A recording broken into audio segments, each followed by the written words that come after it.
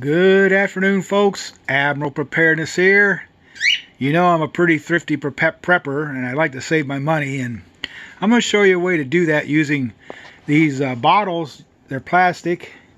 You can recycle them. Now, here's the key. See that little not blue item in there? That's the seal that allows this top to make a complete airtight seal during the manufacturing process to keep the goodness that's in here from coming out there. Now, when you turn the lid, you break this seal, which allows the product to now be dispensed. In order to use this over again, you pry this part off.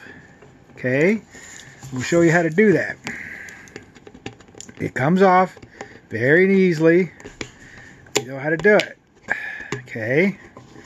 And when you do this, this allows you to reuse this bottle over and over and over again because this little guy here was hampering that top from sealing back on. So when you turn this and tighten it like that, this product is no longer going to escape from what you put inside of here. Now, folks, we all know, but I bet you didn't know, that you're supposed to take that ring off. That ensures a good seal the second time you use it. These are these are meant to be used and then thrown away. Well, we all know that our Pacific Ocean is now polluted as seriously as it's ever going to get. And our Atlantic Ocean, Indian Ocean, Mediterranean, all these water land water areas are getting dirtier and dirtier and dirtier by the petrochemicals that other countries, including the United States, allow to enter it. Now, you could do your part by recycling these containers in your home. It doesn't have to carry what's labeled.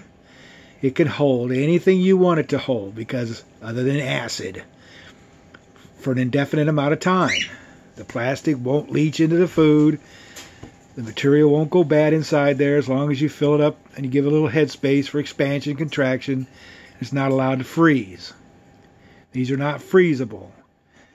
Eh, you may get one or two shots at it and then it's going to eventually crack. If you leave them outdoors, the UV rays will break down that material eventually. If you want to use these as planters, you can cut them in half. You can use them as funnels. Or guess what, folks? Why don't you do me a favor and tell me what you would use this for to keep it out of the waste stream?